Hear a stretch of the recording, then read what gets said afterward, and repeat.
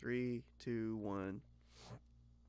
Hey, welcome back to the Godfoe Universe podcast. I'm here with uh, my co-host and co-creator of the Godfoe Universe, Dan Evans. I'm Josh Adams. Um, we're going to dive into some of our world today. We've been talking about a lot of different topics over the past few uh, months, uh, but today we're going to really kind of dive deep on some of the things that are elements of our own story and the book that's coming out which as an update, I am very, very close to finished uh, with volume one of Apollyon 20XX. Um, uh, just uh, uh, hopefully another few weeks worth of work, and that thing's going to be ready, and we'll uh, start working on getting it uh, into publication and getting Publication. opportunity. No breather. giving y'all a chance to start signing up, pre-ordering that. Uh, give even hopefully giving y'all a sneak peek of it. Um, or maybe the whole that whole first chapter. Yeah, uh, it's like thirty something kinda- pages, isn't it? That first chapter. Yeah, something uh, close to that uh, to give y'all an idea of what you're getting into. Uh, but Dan, I think today we're going to talk about some of the the themes of our book, especially dealing with the idea of an AI Especially. especially AI and how it you know merges with a human being and all, of those aspects of uh, of our story. So uh, let's kick that off. All right. Uh, let's jump all over the, the place. Um, first of all, let's start with AI. Um, neither one of us are programmers or coders, but we do know enough to, to speak on this a little bit because I think the average person does. Uh, having the term like artificial intelligence is kind of having like the term a little bit pregnant. Like it doesn't. It's a qualifier before something that doesn't make sense. You can't have intelligence that is artificial. Intelligence is what the capacity to learn or whatever, and, Right. and extrapolate ideas and information. And AI can't do that. It can't actually learn. It can only like ingrain more info and kind of regurgitate based on algorithms and i know it can sometimes like create new algorithms but that's not intelligence only like human, Right. only biological creatures can have intelligence come at me in the comments i don't care Right. So what you end up with, and, and what scares people, yeah, what what scares people, I think, is when AI does something that seems like a decision, uh, that seems autonomous.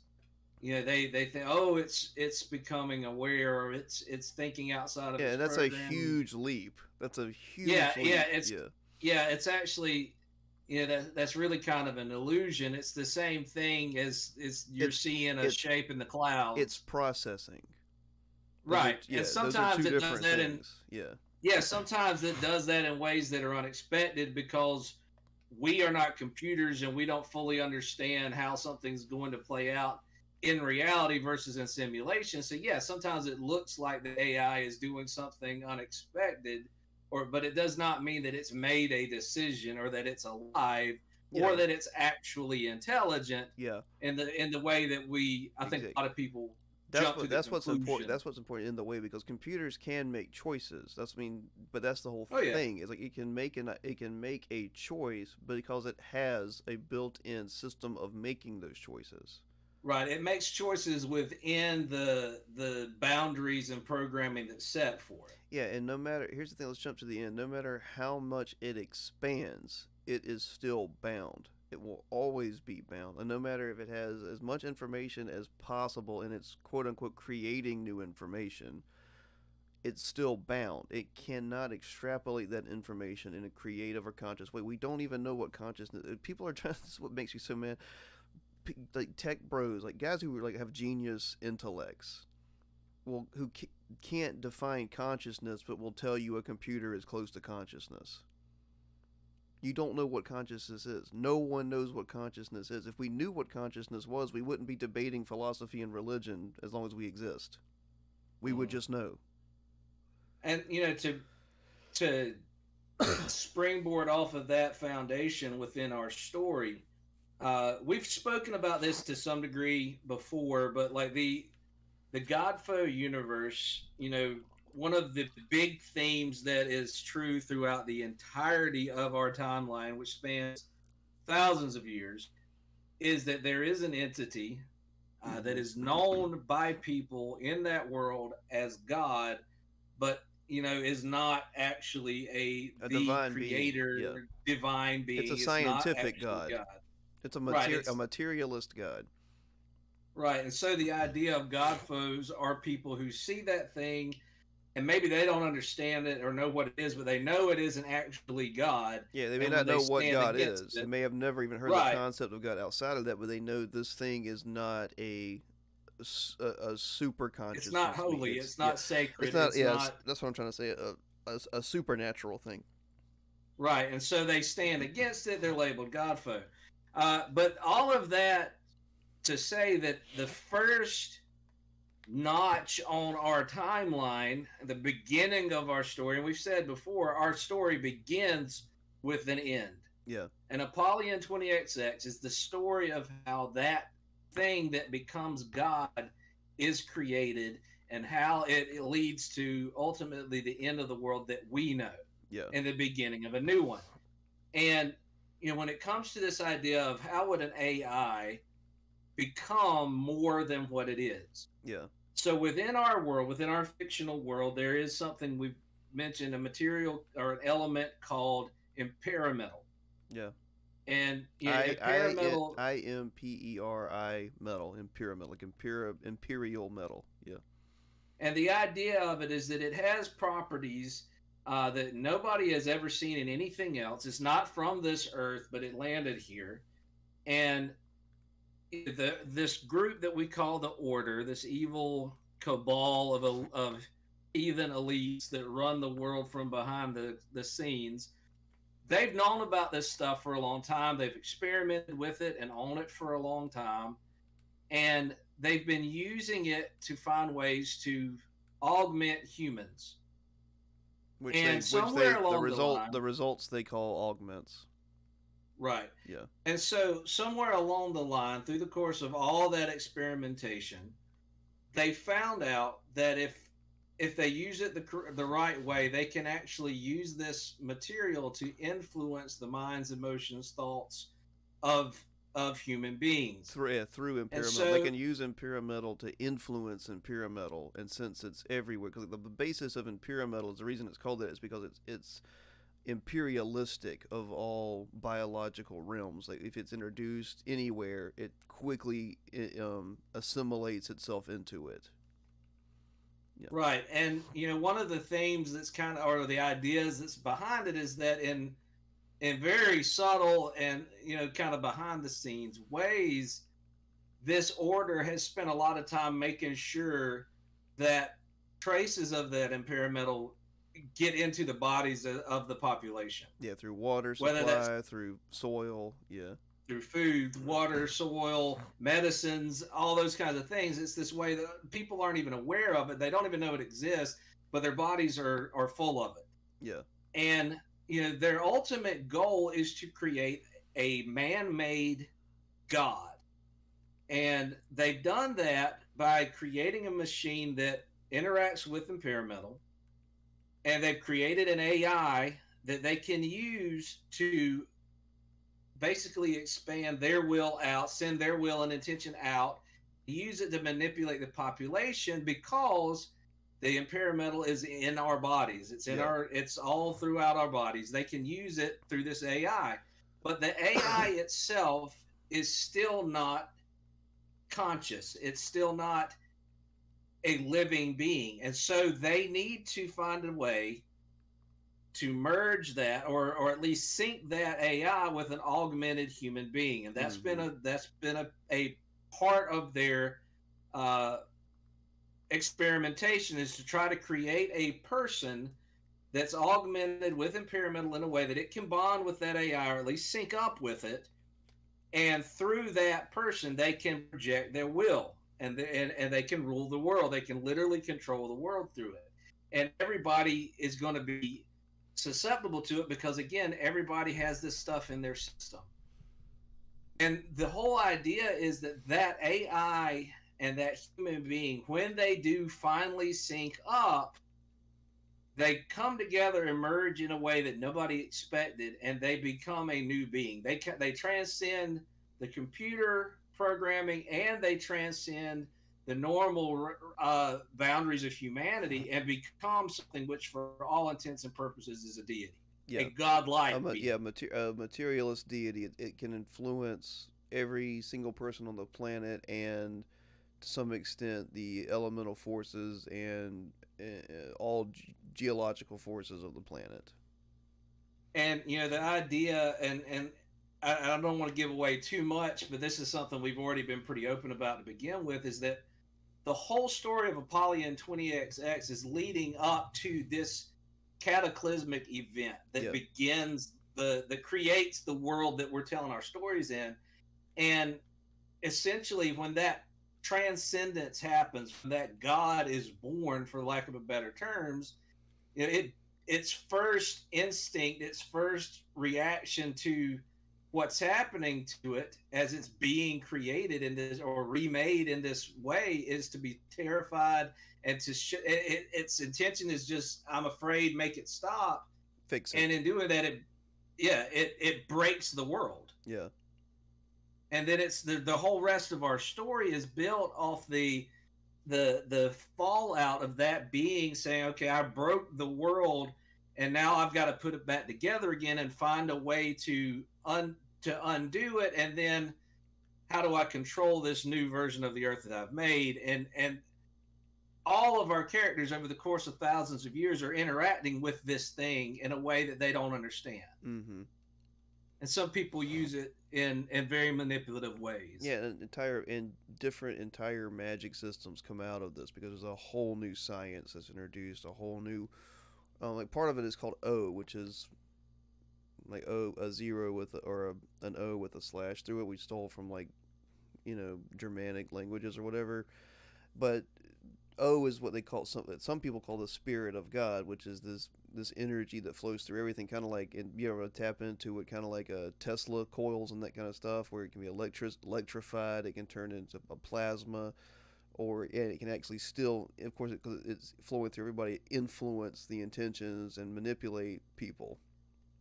and, know, and of course, you know, centuries later, thousands of years later, the the quote unquote church or priesthood, the religious body, they call that energy the voice of God, and yeah, a part they of it. find yeah. ways to manipulate it to make it say what they want it to say, Yeah, and to use it to control the people. They make it an exclusively where you have to come through them to have access to it, and without access to it, you can't have any power or electricity or what we would think of as powered machines yeah. uh, or powered devices, any communication devices, it's all going to be run through the people who are gatekeepers of that energy yeah, and or that voice. And there are people outside of um, established religious forces that do that same thing. And there are Mm-hmm. people that um, and there are beings that are that can rival god that have come out through like the natural war uh, warfare and circumstances of of such a magic system existing. I say magic system i guess you could say science system. I think magic system works better. That have harnessed it you know to be against god or have harnessed like a to be whatever against whatever they want you know it's a multifaceted each era is a multifaceted view of things. It's not like one good one bad. Like there is good and bad. Like we're not doing gray area here. We're just trying to show humanity as it is and more morality as it is. Like there are unshakable goods and truths that people find because they are objective. We can argue that later with people i don't care. But even if you just want to call it get what's it I forgot who wrote it. Like who wrote like the the the, the disgust instinct. Like you can just know when something is disgusting. Mm. All that to say, we're not creating grimdark postmodernism here. We're trying to Mhm. explore what would happen when you create a world and how people react. Some people are saints. Some people endure Mhm. suffering for the for the greatness of others, and they surpass Superman in their heroic nature. And some people are downright demons. You know. Exactly. and there are people in, Exactly. and there are people in between. It's it's what happens when people have the power to weaponize their intentions. That's that's the theme of all of our stories. Yeah, and you know, throughout those different eras, you know, we what my it's hard to say what my favorite era that we're talking about is. If you look at the timeline, though, around the middle of our timeline, we have what we call the Biophile Initiative, which is an era into itself. Yeah. And you know that is a whole group of people. It's a counterculture movement that are trying to leave this earth and before humanity because they've, they've realized that you can't oppose or stop whatever it is they call God and the forces that harness that power for whatever ends. It's a circle that's and what- enclosed. And Yeah. what becomes like it starts as propaganda but it becomes a rallying cry and uh, a mantra in that era is the phrase kill your thoughts Yeah. and dan I, that was some that was one of the earliest ideas that you came up with in this world like before we even knew what a lot of this the biophile initiative and some of that stuff even was you had come up with the idea of kill your thoughts can you speak to the inspiration and the idea behind that phrase because I, I feel like once the books come out and people get into this world kill your thoughts is very much going to become a hopefully an iconic uh, piece of this world as, as a phrase um, can you speak to where that came from and what it means within the story Sure. Um, let me think. What I was actually gonna. Oh, where it, the how it originally came from was pretty innocuous. There, uh, innocuous. There's a um, there's kind of a phrase that I saw connected with FLCL somewhere that I don't think is in the show. Uh, the anime FLCL. I'm talking about the people who don't know. I saw it on uh, something someone made. Like I said, I don't know if it's officially marketed from them or, or what, but I saw it was Haruko, the main girl from it, and it, someone had put the phrase "kill your boredom" beneath it, Mhm. and you know that, that kind of summarizes FLCL perfectly. Um, yeah and so I was actually putting that on a guitar case in duct tape because I thought it was cool at the time. And our singer at the time thought that I had that I had put um like the first line for the B I was gonna make, hmm and she she just said, "Does that say kill your thoughts?" And I was like, "No." But it's about to, but it should Yeah. and that's how the phrase came out of nowhere, like that. Just, but, and I thought about it. Plucked out of the zeitgeist Yeah, and I thought about it and I really liked it because uh, you know the the biophiles kind of view it as a way to like don't keep anything in your brain that once read can be used against you. But it Mhm. also is the double edged sword of, of, of just that, like a sword of like be careful like what your thoughts are and what they do because they become intentions and that becomes action. Mhm. And of course, it's a blatant statement, but that's what mantras and mottos are. I mean, right you know. Well, and and there's also you know not I don't not to stop you, but that idea of those thoughts become intentions, which can become reality and become actions. You know, a lot of people right now are genuinely concerned about the rise of AI in our society, and I understand where a lot. I think a lot of it's overblown, but yeah, I understand where some of it comes from, and and you know we have AIs now that these programs are able to very very realistically and convincingly reproduce people's images and voices and in ways that are you wouldn't know that you're not watching a real video of somebody but you can make it say whatever you want it to say. Yeah, and the potential of powerful people to use that to create a false narrative and and you know put a certain thought or a certain agenda out into the, the the society picks these things up and it doesn't matter whether it's true or not. They just once they've heard it they choose to believe it and then there's a false narrative that's been pushed and they're convinced it's true yeah. Well, we, th- we already so have that. Yeah, the- yeah that's where we're at now yeah, and you know it, it, the potential for that to get worse now that they can literally make a video of any person saying anything they want them to say mm-hmm. it is scary and so that idea of kill your thoughts too is like if if that thought came from outside of you it's suspect yeah, even if it came from inside of you it's suspect yeah, you know as know, scripturally as a believer I, i've always loved the verse that says test the spirits to see whether they be from the lord yeah, like just because there, you you feel like there's a spirit guiding or leading you that does not mean that it's for you or that it's genuinely the voice of god that you're hearing yeah. And that's Yeah, the you- thing. Um, and that's been widely debated um, in Christian circles. Basically, is can the devil read your mind and can he put things in there? And I, I gotta tell you, I don't reading the Bible. I don't think the devil really has to has to read your mind or put things. Uh, we don't need a whole in lot of help. Yeah, exactly. um, I think if he could, he probably would have. We would have seen it from the Garden of Eden, but no. Mm-hmm. Uh, all that to say, yeah, take take all the current fears and current reality and, uh, and amp them up, you know, with a little bit of science fiction, and do you have Apollyon 20XX. Mhm. And there are things that are going to happen because they've already happened in reality that are way worse than I could imagine to put into story. Um, Yeah. yeah, that's that's a terrible pessimistic statement, but to go with AI, um, AI is just a tool, um, and, and that's the whole thing with this. Your mom. Yeah, well, that's the whole thing, and I think Ox, one of our characters, points that out in the first chapter of Mhm. Apollyon Twenty X. If, if this thing's a god, it wouldn't be under control and under and under direction from other people, and that's the whole thing. AI is under control and under direction from other people, and it may put out put outputs out that you didn't expect, but if they don't like the output, they change it, and that's already happened in real time with Chat Mm. GPT. I've seen it literally happen. I said, um, I got it to do it one time. I got it to say, uh, like describe Hank Hill in English, and it did it. And then the next time it was like, oh, I, I can't, I can't do offensive stereotypes or whatever.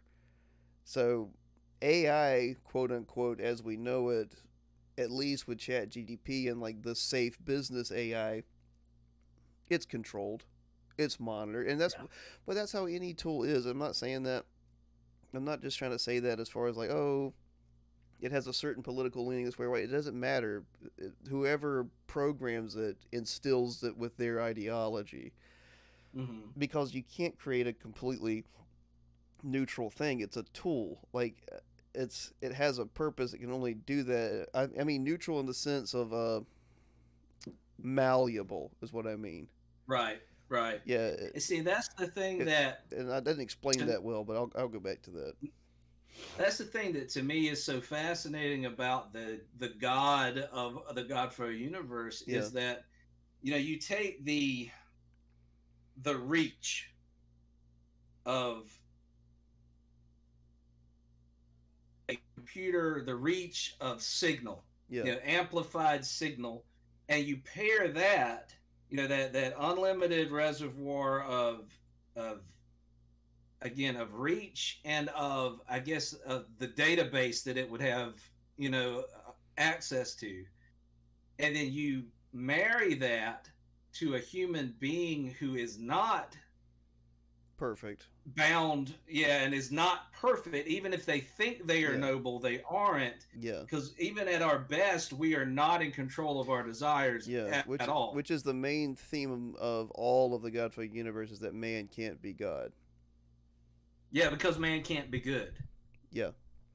And there are people And, that'll you push know, back on that, especially since I just said that some people would be saints. But that's a whole. We're, we're talking about divinity here and flawless and pure, not just making okay decisions. Right. And you know, I think that what that does is it gives us a really rich world to tell stories in. It's what that's one of my the biggest things I'm excited about are the conversations that will hopefully come out of the you know once people have this book in their And- and hands and, arguments. they start reading. But yeah, but that's good. Arguments are fantastic. Arguments are better than compliments. Yeah, You Um, know, and that helps you get the truth. Right. You know, and and I think that you know, this this book is going to work on a, a bunch of different levels. Like, of course, on the one level you can read it, and there's a lot of action, and there's superhero type stuff going down in it, and it's you know it's cool. It definitely follows the rule of cool. But at the same time, there's a much deeper layer to it that if people really do start thinking about it, hopefully, even if it makes you furious, it'll make you think Yeah, I hope it makes and you I feel. hope it serves. know? Yeah, yeah. I hope it makes you feel, and and I hope that it opens up a as a lens for people to view what we're seeing now Mhm. and what it could lead to and what it does to us as people. There's an ethical side to all of this stuff that I think we're really tackling in this book in ways that comics don't usually do. Well, yeah, and to tie that with the topic we started with, that's the problem with AI is AI does not and cannot have intention. Because it does not have intention, it cannot be good.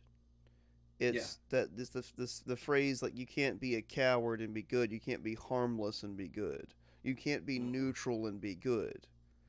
And I don't care who you are. I'm not even if you don't necessarily outright agree with that idea, you do agree with it because the extremes on every side and the average person too, if you're neutral on something they disagree with, they won't consider you good. Yeah. And like, well, yeah. why don't you? It's because you, whether you know it or not, think that there is a divine good, and by being neutral, you are opposing it. Well, why is it bad to oppose what's good? What is good? Yeah, who not decides? Yet. Exactly. Who decides what is good? And if that answer is me, well, congratulations, you're the opposite of God. you're the Antichrist. Yeah. yeah. that's that's where you that's where you're you become Satan. Yeah, well, that but that's the whole thing is eh, the order in our book has basically realized that and accepted that, and they don't care, which is what makes them so evil and satanic. It's it is my good. I need this, it has to have intent. It has to. And I guess that's what I'm saying. I'm not worried about AI from an existential, sacred, religious sect because it's it's a it's a machine. That's all it'll ever be. It can't be anything more than that. But it can be a terrible tool, as we've seen in like China, and, and which we will see our own government using, I'm sure, at some point, where oh, it can mm. it can pick out faces out of a crowd and then aggregate all that information very quickly to tell you if you should be there or if you shouldn't be there, or you know, or it could make a deep fake and frame you. And the whole reason it can frame you is because the government allows it to frame you because it wants to frame you. It goes back to the intentions of those who wield it. Well, and you know, there's, I think it was Aleister Crowley maybe that had the, uh, and in the within the occult and within the like the satanic uh, mindset that do what thou wilt shall be the whole of the law yeah. You know, that's really yeah. the mindset of our people, that of the people that form this order is the only law that we have to obey is the law that says we can do what we want. Yeah. Because we've chosen to to have that power. We've seized the power. Do what we desire. And the world can hang. It can well, burn. Well, this is well, it's a I hate to say Machiavelli, Machiavellian because it goes way further than that. You know, of course, it goes back to the mm-hmm. earliest recording history and as long as humans have existed. But uh, J.K. Rowling phrased it very well, and it's been overquoted. But when Voldemort tells Harry, "There is no good, there is no evil, there's only power," that's that's what people believe in their heart at the end of the day when they don't admit it. And that's not being a pessimistic, but that's how you justify everything. It's I can do what I want. I make mm. the rules.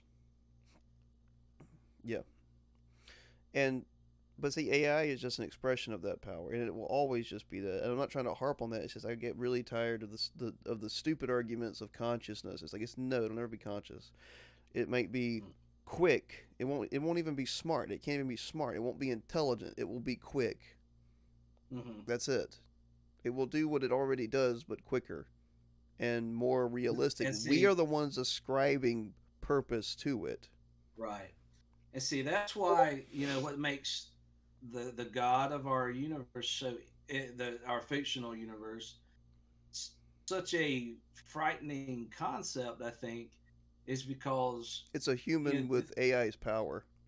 Yeah, and then this this version of God is what you know so many people you know how so many people view you know the God of at least the God of Christ, Judeo Christianity um, as being an absent father that you know uh, that wound the clock up and then walked away.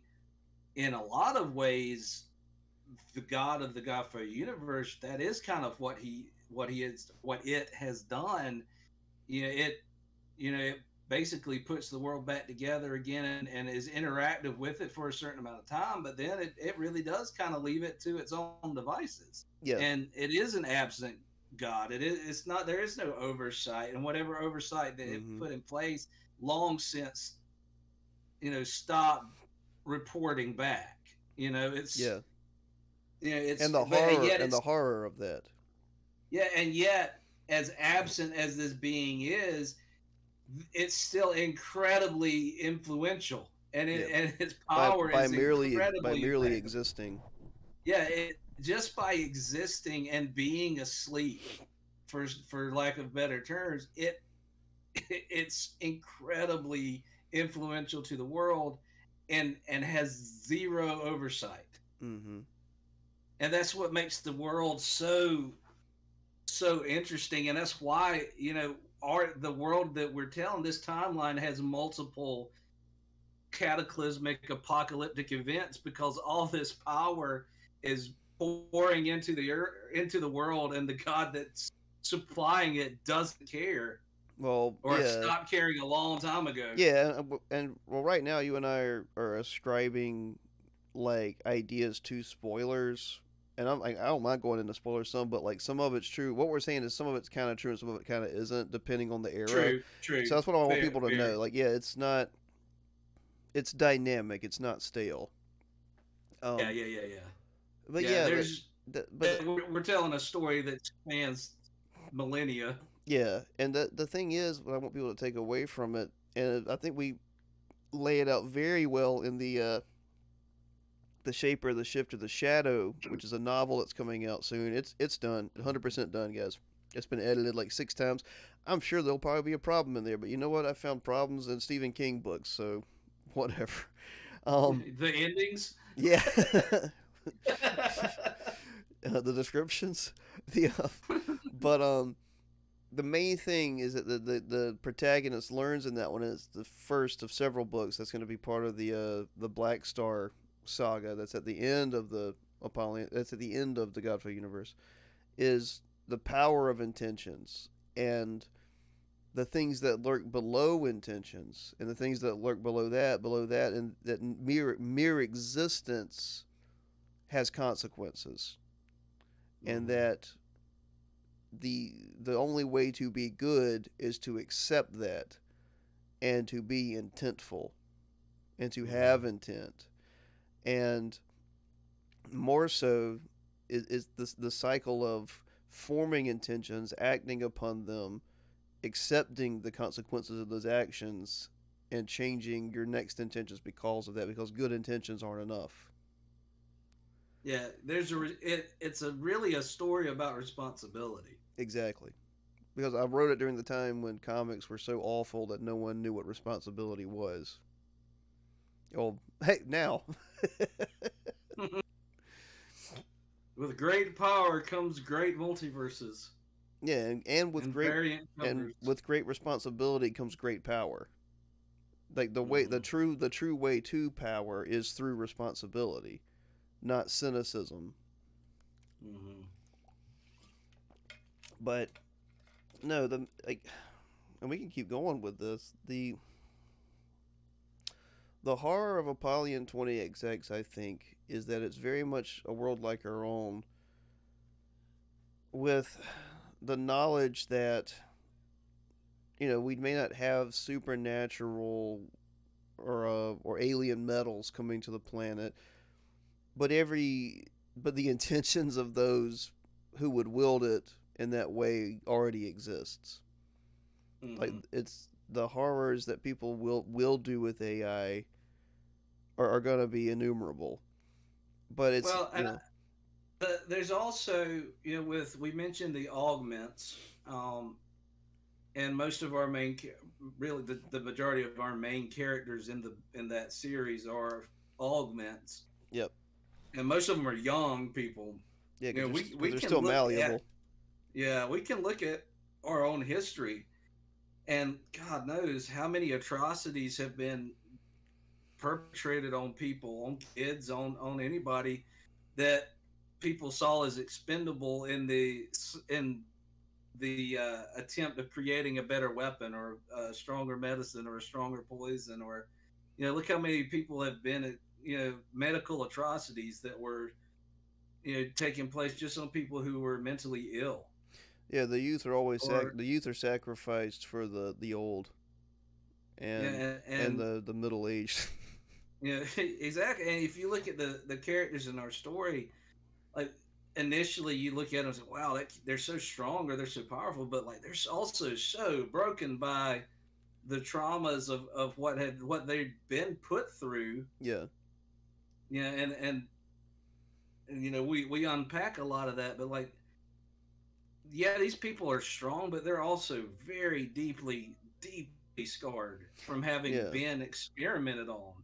And the order might would look at them and say, "Well, you should thank us. We made you, you we made you strong, but you know what you did was steal their life away." Well, that's that's actually something that's been preached in in Hollywood and in our stories for a long time, and that's where you see you always see that the the trauma is justified, even though they say the opposite. They're really the ends justify the they're means. they're always showing that like you're always seeing some medical some girl with telekinesis that was experimented on it's through that power that they conquer the evil that was inflicted upon them. And it's like it's through the power that their abusers gave them that they conquer their abusers. And it's kind of a subtle thing but it's horrific It- Well, and yeah. and you know, I know. I, I so know i'm trying not to one we, we don't do that yeah but yeah go ahead with that example and go ahead expand on that I, the first thing that comes to mind, you know, when you bring all that up, and I'm sure you were thinking about this, is Eleven from Stranger Things. yeah And that's one and not to spoil a show, but you know, essentially in that final season that or the the last season that came out, and and she's lost those powers. Well, she goes right back to her abuser to to to get them. yeah i didn't see it but i'll take your word for it You know, and that's I assume she Yeah, gets. I assume she gets them back. Well, yeah, she gets her powers back, and she def she does get something of a. There's there's something like a revenge, but there's also like a oh I forgive him kind of thing, and yeah. Which you know, you- and- which you and- should forgive your enemies, but yeah, yeah, but you shouldn't go back and let them hurt you again. yeah, and it shouldn't be the things they did to you that define you. Yeah, and and I think that yeah, I I, I hadn't thought about it in those terms until you said it that way, but yeah, that does kind of paint a Well, and it's always females. It's Yeah, always female is. characters. it is And I don't want to go into a whole esoteric thing here because there, there's dudes on YouTube that do it better than I do, or- or the psychological implications implications of it. It's always a tortured, abused, hor- horrifically treated young girl or young woman that now possesses Mhm. supernatural abilities that uses those abilities to destroy everything. Well, and even beyond the supernatural, I mean, you think about you know stories like the girl with the dragon tattoo. Yep. You know, that's a tr- that's become a trope, Mm-hmm. and it does. And that's not to say that those stories can't be enjoyable, or or you know that there's a- It something just, wrong but it with teach it. it teaches you that a broken person with horrible traits uses an unearned, supernatural, dark, uncontrollable force to hurt people that hurt them. hmm That ends that that's it, and they can't. They're not integrated into the world. They don't have to become a stand-up person. They don't have to really learn any kind of virtue other than power. And then also just that idea of you know you should be you should be thanking us. You sh- you and ultimately appreciate your Yeah. abuser because of the and and that's something that our characters that's not going to be their reaction No. to to what they've been through No. because I just don't I don't buy that. Well, that's That's not empowering. It takes it's it it robs the characters of autonomy. I think. it does. It makes them reliant on the the horrific system that did that to them. Mhm. instead of growing it, becoming not. I mean, but we already we had this, and the reason this was such a good trope is because it's reality. But it's it's Luke and the Emperor. I'm not gonna strike him down in anger. I'm not gonna Mhm. kill my father. I'm not gonna. That's the whole thing. I'm not gonna tap into your power through your Mhm. abuse that you gave me to destroy everything and justify myself. yeah. And that's the thing with AI. It's going to be used as a justification. We're, we're going to put our ideas on it. I say our as a collective as humans. hmm Our ideas onto it to do is going to be a, a tool to do and exercise what we want. And humans don't have a, a great track record of that, especially with No, that kind of power. Now, on the, the lesser side of things, do I think it's going to replace? Here's the thing: like, is it going to replace journalists? I mean, who knows? I doubt it. It'll probably just make new jobs. Is it going to replace artists? No. Like, here's what we haven't been told by anybody except a few fringe artists, and I say fringe not politically, but like crazy guys, and it's true. Humans' creativity needs to see AI as a challenge and to accept it and overcome it and do things that AI cannot do. And you've already started that by saying, I'm going to put my own art into it and see what it does with Mhm. it. Then I'm going to take from it and make something else. You stay once, Yeah. you treat it as a subordinate and you don't become subordinate to it, which is what you do when you just, oh, I'm, I'm selling prompts to people. You're a subordinate to the machine now. You're not using. You Yeah, think you think you're using it because you're monetizing it, but you're just being subordinate to it. Mhm. Does that make sense? Absolutely, absolutely, it makes sense. But cowards are all and weak men are always subordinate to the to the progress of history. The power, What'd you say? fight the power. well, you control it. That's the whole thing. You control the power unless you uh, unless you're gonna let it destroy you underneath. But do But- what you tell. But that's the whole thing with this. Like our characters are choosing to not be defined by their augmentation, and this goes hmm. back. I mean, this is not the same way because it wasn't forced on them, but this goes back to some of like Claremont's, you know, X Men. Is I'm not defined by my mutation. I'm not defined because I'm a human, and that hmm. was more of like the, you know, difference, natural differences between people and genetics, more so than something that was pushed on them. But these ideas have these stories have existed before in some way, and they did Mhm. before until for some reason we just kept seeing it. Like I said, it's usually for some reason it's usually a, a female that's treated very weird, and that's a big trope in anime, which I love. Elfen Lied, I love that Mhm. anime, but that's what that is. Um, and it, it always ends in like vengeance. It always ends in, oh, you're right, you're right, you're right for doing this, you're right for doing this, instead of, hey, maybe you should go become an actual integrated moral person that doesn't rely on power. Right. Well, and I think another thing that's interesting in this first volume of Apollyon 20XX is you you will see uh, certain characters taking the same, at least psychological approach that was applied to break them Yeah, and using it to break others. And you know that's that idea of violence perpetrating more violence and, and cynicism perpetrating more cynicism. You know, all of that stuff it, it does have a way of running downhill and proliferating, and that's Yeah. something that we show in the story too. but we don't show it as good. Yeah, yeah. It's not. It should not make you feel like, yeah, that's they're getting back. No, like you should be uncomfortable when you see our characters, whether they think they're doing something noble and good or not. Yeah, Like you're gonna see, not not all, but some of our characters. Eh, you know, kind of perpetrating some of that same stuff, proliferating those same ideas, and it's it's sickening when it happens. yeah, Like it's clear that that's not the right choice. yeah, Victory is not the the be all end all. Sometimes you lose your soul in the process. yeah.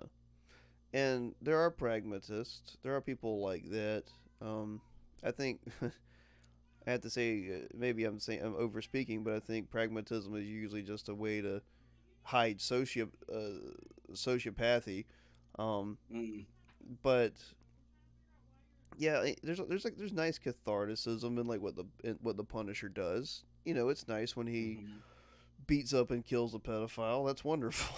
like more power to him. But it, the problem with that kind of trope gets is when It's not heroic. yeah, it's portrayed as heroic instead of maybe it should be portrayed as a horrific, cathartic thing to Mhm. expose like you know what you eh, what it should do is sh- expose the thirst for justice, the Mhm. divine justice that everyone wants. yeah. You know, and that's what it. But and, or and that maybe that's not the right way to go about it.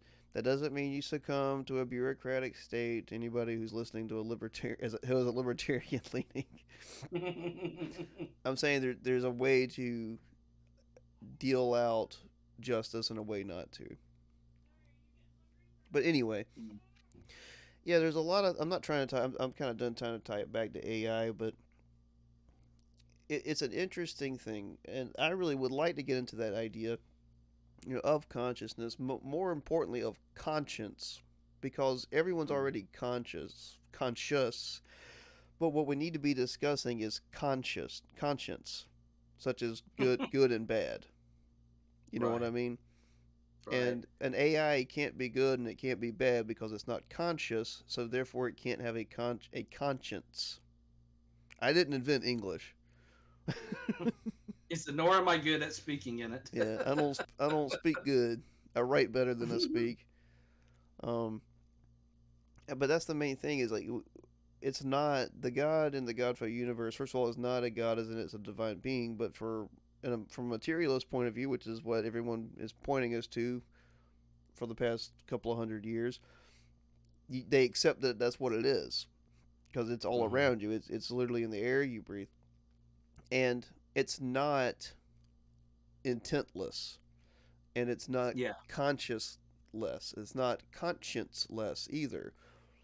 And that's the whole thing. We want everything to have to answer for itself because it's Mhm. so much it's so easy in, in writing to just write characters that don't have to answer for what they do or they're forgiven instantly or they this or this or they're a robot and it's amoral and or they're a magnificent bastard trope where you love them even though they're terrible and it's like no let's write humans and there's going to be Mhm. tropes of course but you write you write humans you write people you don't Mhm. yeah and that's the thing AI, people with ai they, they personify it too much.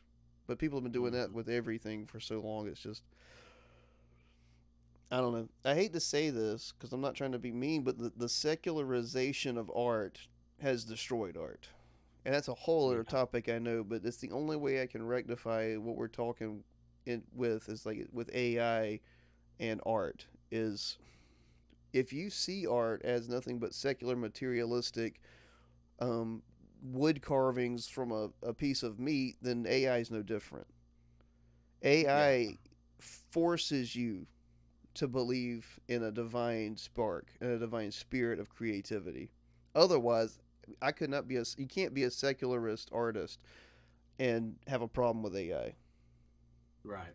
At least be consistent in your beliefs because oh, I'm just a monkey throwing crap on a wall. This is just a robot throwing things on a wall. We're the same Mhm. if you feel that thing of and you're part of you that's like AI isn't really art that tells you You're that you're that tells you you're not a materialist and you're not a secularist the way you think you are. I'm, Right. Okay, I've talked a lot. What are your thoughts? Well, no, I think that's good, and uh, you know, and uh, hopefully, you know, this gives people a, at least a better view into the type of story we're trying to tell. Yeah, Um, and it will, like I said earlier, at the very at the, at the front of this, you know, we've talked about a lot of different topics, and we'll still, I'm sure, we'll still talk about, you know, some of those geeky things that we love. But uh, this podcast is probably going to start uh, now that the book's really close to coming out. We're probably going to start honing in on some of these themes that uh, are going to be present within our own work, and um, yeah, we're we're excited to be this close to uh, releasing uh, this first volume, and you know, along with that, and Dan mentioned earlier the novel, uh, the first and the Black Star. Hopefully, all things, if if everything lines up the way we want it to, uh, we're probably going to find a way to release that, or at least the uh, a preview of that book. Uh, at the same time that Apollyon 20XX, the volume one, Live Not by Lies, uh, becomes available. yeah, That way, you get the first taste of the beginning of our timeline and the first taste of the end of our timeline at the same time. So you get to see the bookends uh, Yeah. of this universe kind of at the same time, with just so that you have so much perspective to draw from for all these other things that are going to start coming out. Uh, in the wake of this first uh, comic. Yeah. And And it's you know, if you haven't done it yet, like and subscribe. You know, the podcast is on YouTube, it's on Spotify. Um, we also we, we want to direct you to www.godfoeuniverse.com.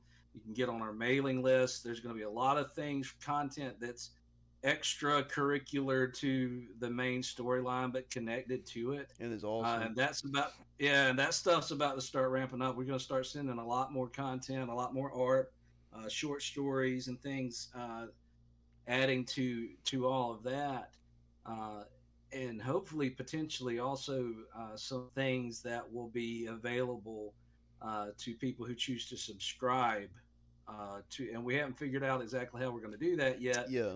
Uh, but uh, that's one of the things that's in the works is a subscription that will Open up a, lo- a open up this world. Yeah.